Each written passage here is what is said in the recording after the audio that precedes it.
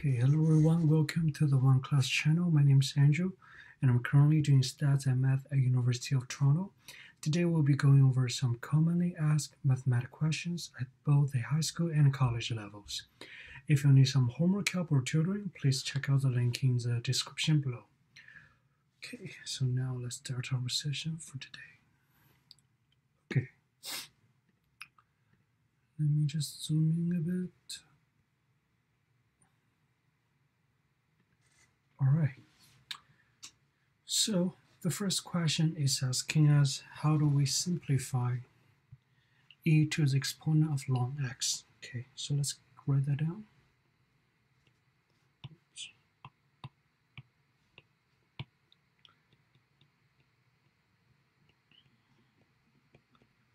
So how do you simplify e to the exponent of ln x. Okay, so in order to solve this given functions, first we need to equivalent to y. So first thing we do, oops, step one, we will let y is equal to e to the exponent of ln x, okay? And then our second step, we will take the natural logarithm of both sides of the equation, okay? So, it's another color, so take natural log of both sides of the equation. Okay, so we will have ln y is equal to ln e to the exponent of ln x. Okay, so we pretty much just add an ln on both uh, left hand side and right hand side. Okay, and step three.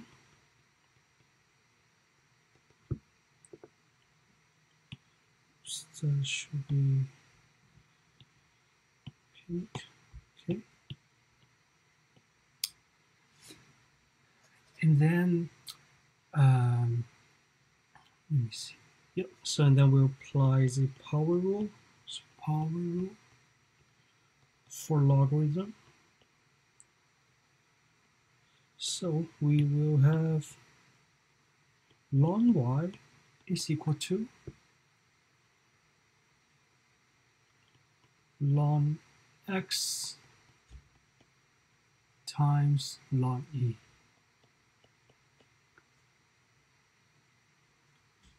Okay? And then next step,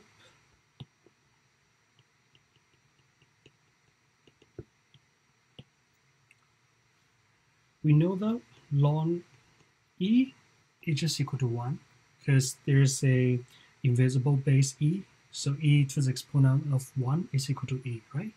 So the equation can be simplified to, uh, it's another color. So ln y is equal to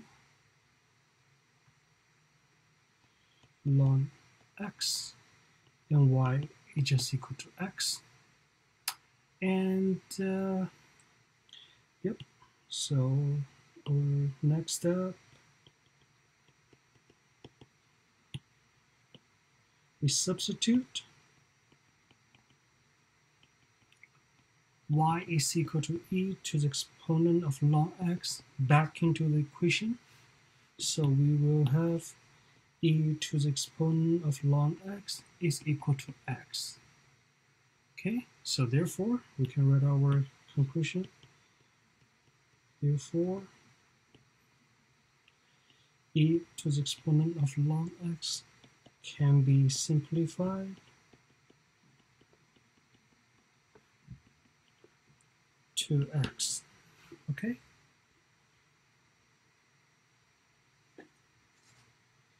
Yep, so that's all we get for this question. Okay, So let's leave a comment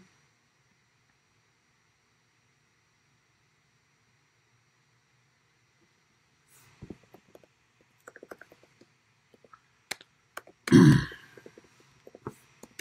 so solution is correct. Well done.